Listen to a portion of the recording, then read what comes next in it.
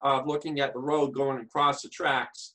And you can see I've used some sidewalks, I, I mean, some curb stones. And basically how I made the curb stones was I just got some gray, put, gray putty um, that you could bake. And I made them into little strips. And then I um, put them in the oven, baked them, and then I put them around this track.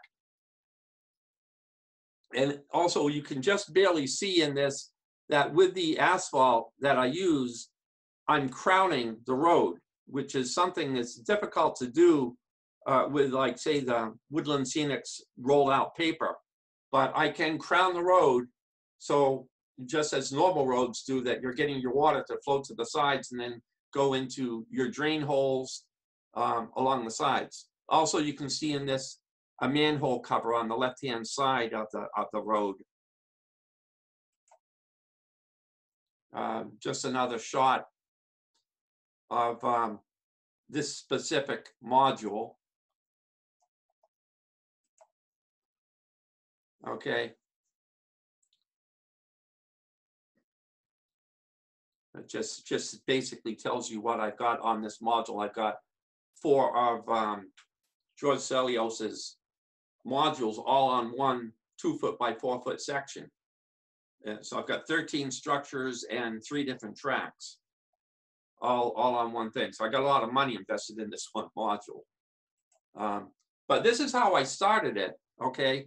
And again, I'm showing you this because, you know, this was my beginning process on how I was going to actually put the roads in and how am I going to put in the roads. Basically, I have it back to front because the front track really is is the back track and then the double tracks are in the back at this point. But basically, I put the George Sellios's is a um, a resin that you mix together. It's a two-part resin, and um, it's a polyurethane foam set and I sort of put that down first. And the reason why I like to use this stuff, and sometimes I like to use it, and sometimes I don't. The Fall River, I'm using grout, but this one I'm using the foam.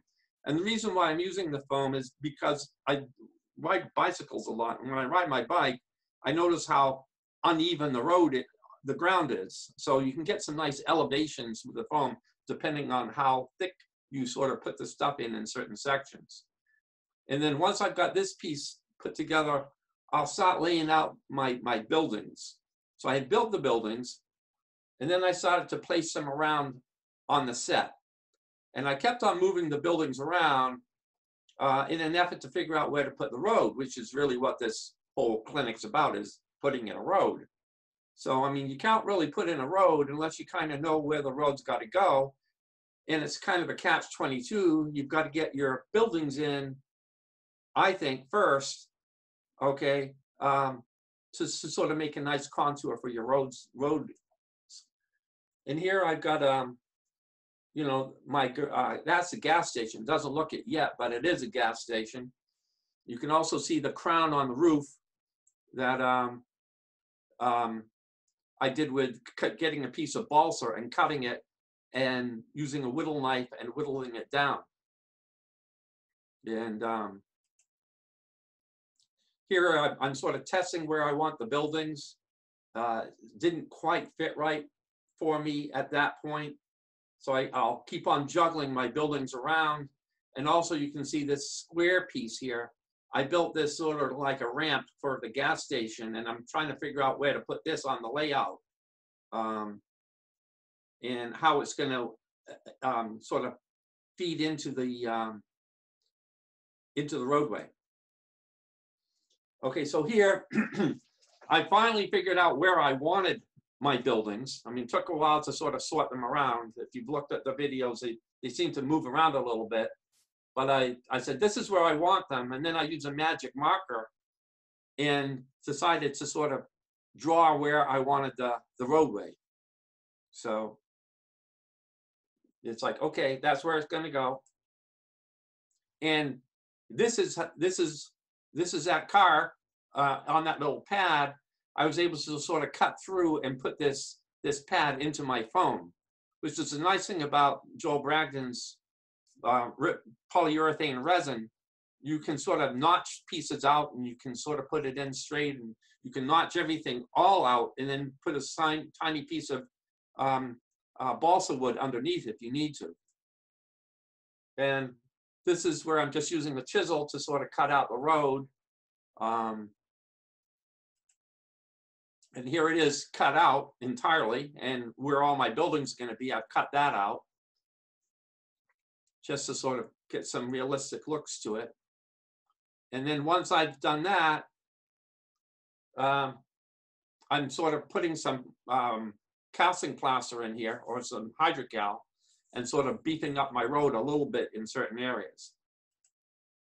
And um, as you can see here, what I've done where this building is, I've, I've kind of used that balsa wood, like I said, and sort of inlaid that in to get a nice flat surface, even though the elevation around it is sort of uh, moving, moving about and very hilly. And as you see, there's a railroad track in the back as well. Um, that's set down with the whole building together. I just back it up. That's it with one peak. That's a garage section or will be the garage section that you saw earlier. And then that's, that's sort of sitting just right and the road looks right to me at this point. So I think I'm going to keep it as is. Um, this is just a little bit more as the, as the buildings get placed in. Um, I'm, I'm getting a little bit better feel for how the road's gonna work. Uh, Okay, so then what I do, okay, this is what I said back on, I think it was August seventeenth, is I, I, um, use this Ace Hardware, okay, um, all-weather roof cement, okay, and I applied it with a one-inch wallpaper seam roller. And once, once I, um, but, but the technique to do that was I put the paste down with a spatula. And then I sprinkled, and you can see it, I've sprinkled some very fine asphalt on top of it. And then I rolled it from there. And uh, this, this is what I use. This is uh, um, N scale cinder is what I use to sort of roll it. And I find that as I put it down and I can roll it with my finger and, and the ACE stuff is, is water soluble, so it can come off your fingers pretty easily. Um, I, I keep on patting it in and rolling it in until it sort of gets a little, little wet on top. And then I know I've got the right amount in. And then I just roll it a few more times. And here's my road sort of in place on this module. And uh, obviously I needed uh, a whole construction crew to sort of put, finish, finish it off. And these are all from Zycon models, like anybody seen Zycon, they're, they're brass, brass pieces uh, for the most part, other than the truck. But I've got a whole slew of these Zycon model paving and heavy duty equipment pieces. So they're rolling out the road. I mean, you cannot finish a road without using your your your paving material, paving equipment. And um, here it is. I sort of paved over the tracks.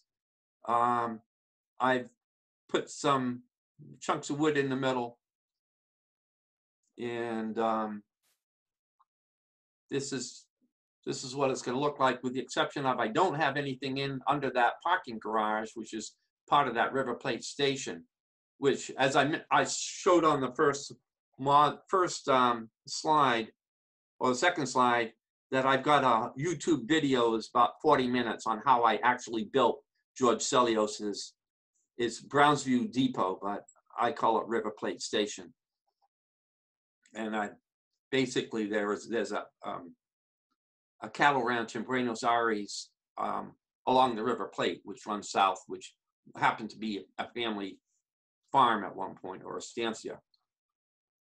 So anyway, um, this is looking at the module together with the, There's there's another road, asphalt road on the the module in front of this, which is that's Majestic Hardware on the left, um, a Bar Mills kit, and then you've got Stuffy's Brewery uh, on the left, and then a little bit further down, which is blurry, you've got um, the Franklin Watch Factory. Uh, not all George Sellios's kits. So I've got a whole slew of them going down here with all the trackage. And you can see the track sort of running back of the building, around the front.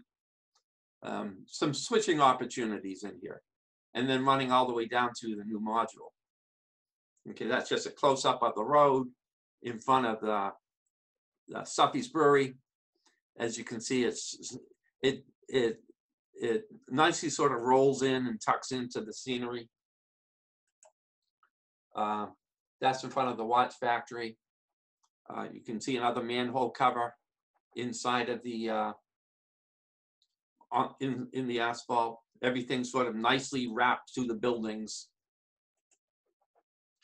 Okay, and now here here's what everybody's been wanting to see, which is my um, Fall River construction. Okay, so basically on the Fall River um, module here, I've uh, used this is another Ed Fuja kit, which I think uh, Jeff had the same model on his layout. Um, and what I've done is I've sort of put some um, grout down. And the reason why I'm using grout on this one, and I use the grout also on that model that I brought over to Rhode Island, the Wisconsin Dairy Barn. I sort of put that into grout. Um, grout's good if it's relatively flat.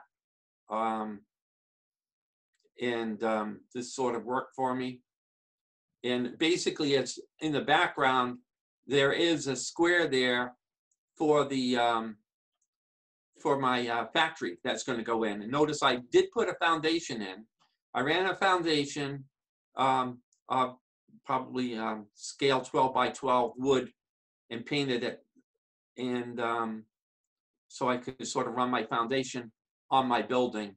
Also a place there for the um, chimney.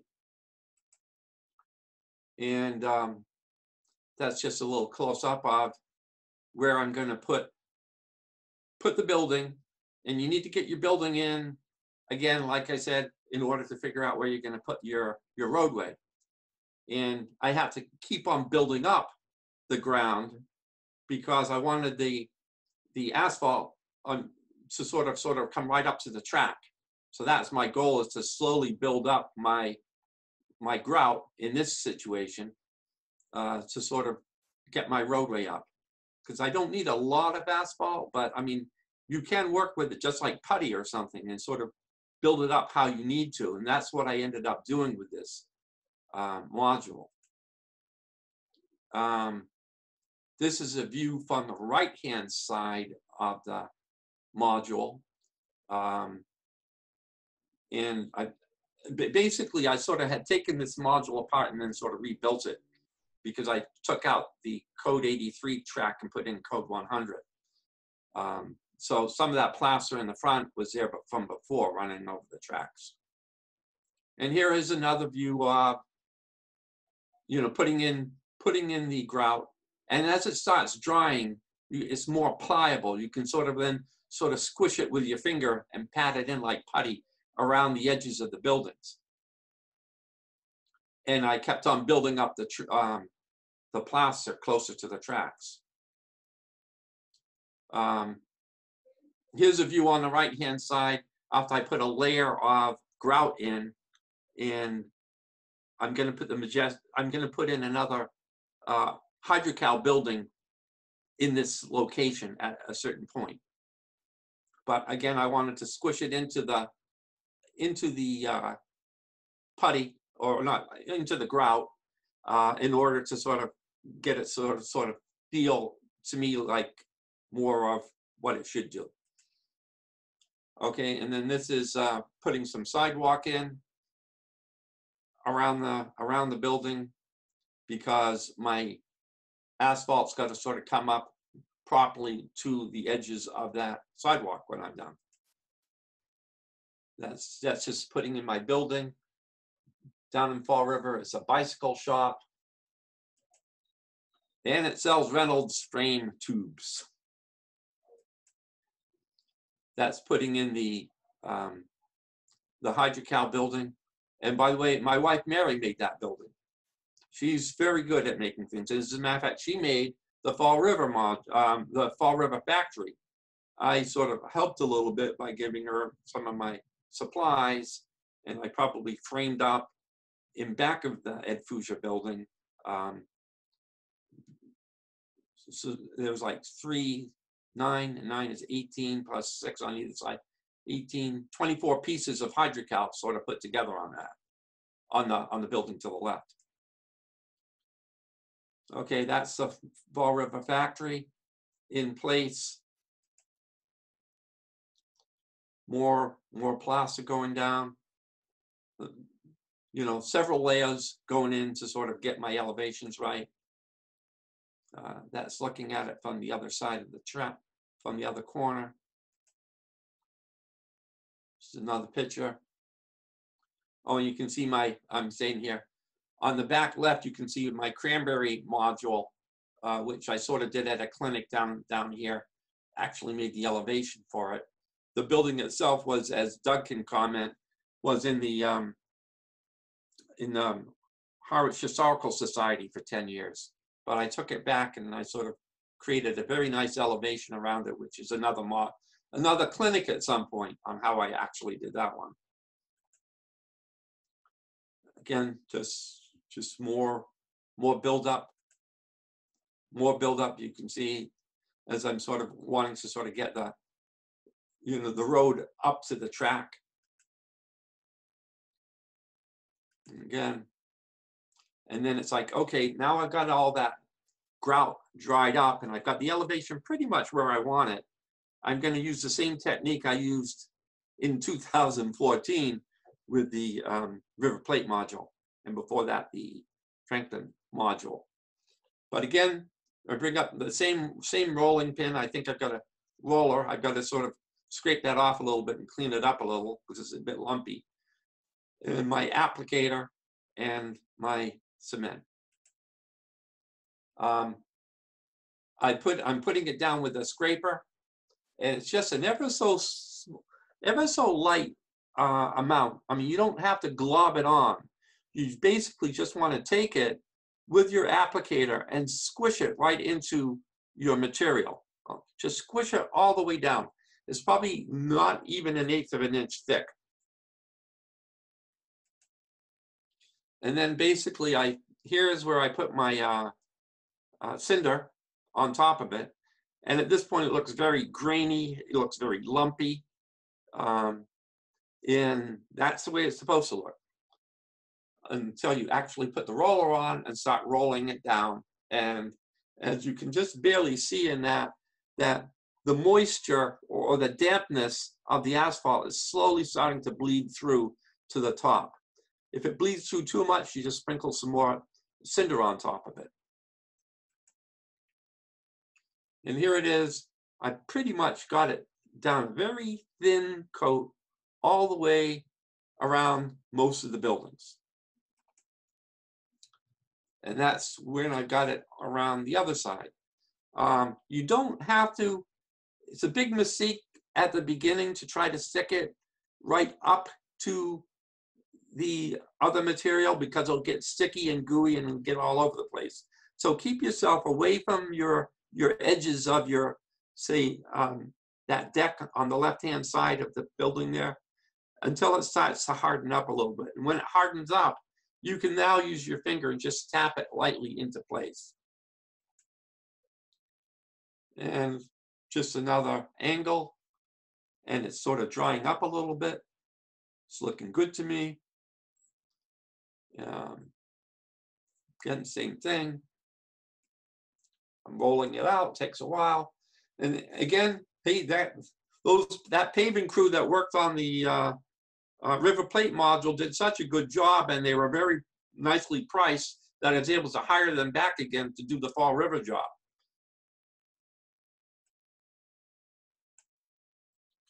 And now, um, my hand's moving quickly, but basically I have a piece of sandpaper and I'm sanding down the um, uh, cinder, okay?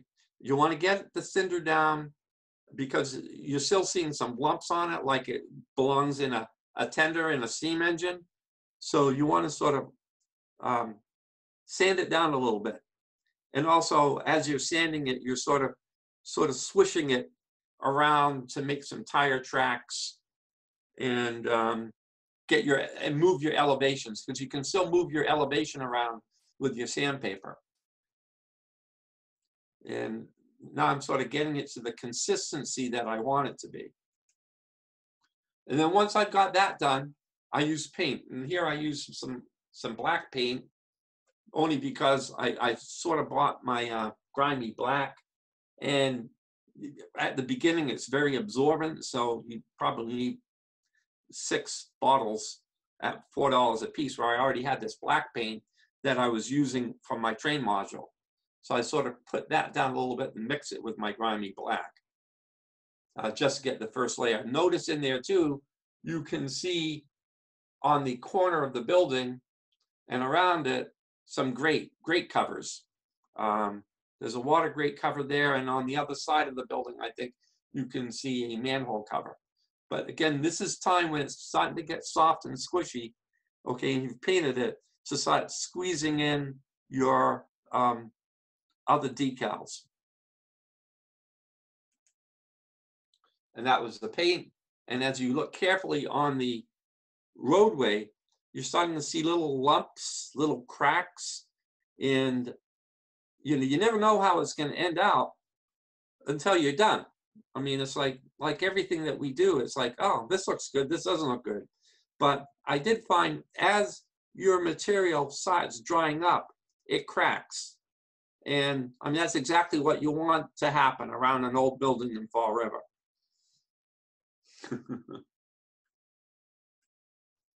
and you notice the big grate, there's there, and there's a Yeah. manhole cover on, the- on, on the other corner. And here you can see a few more cracks. And I'm now starting to sort of lay some um, greenery in. And I also have the greenery at this point just sitting there, but it does look, okay, like you've got some weeds growing in some cracks. So you can get some nice effects. I haven't really played with it uh, much, but um, it does do what I wanted it to do. Okay, and this is now the building uh, in place on the module with the backdrop on, with my New Haven um, engine and some uh, B&M cars. And this is is just a few more looks. I could do with a little bit more um, uh, weathering. Um, I gave up on the weathering because I had to finish off my AP awards, but uh, I'm getting some effects in there by using some white powders that you can accentuate some of the uh, cracks. Um, still not 100% where I want to be with it, but I've been working on it. And um, obviously you can see now I've got my railroad crossing um, pieces in there. So everything's flat and the, the whole road is up to exactly where I want it to be. That um, you're, you're coming right across those tracks without any sort of hill effect. It's coming from the front and rolling towards the back. And um, uh, keep in mind, I mean, you've got some cork and you've got railroad track with code 100 uh, track on it, and the whole roadway sort of uh, you can run your your your car over that, and you're not going to find any jumps or anything. It's it's going to roll really nicely.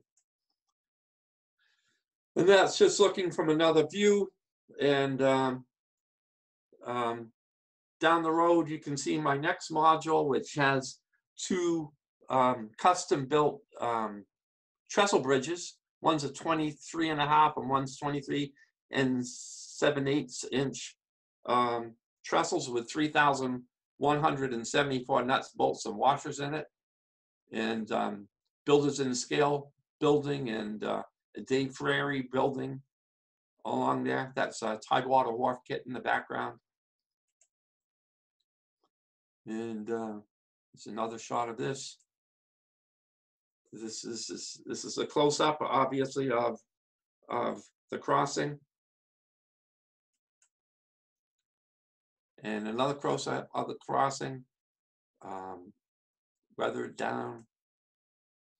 This is going towards the back between the bicycle shop and that general store with the Union Pacific tanker going back and probably dropping off some heating oil into the building.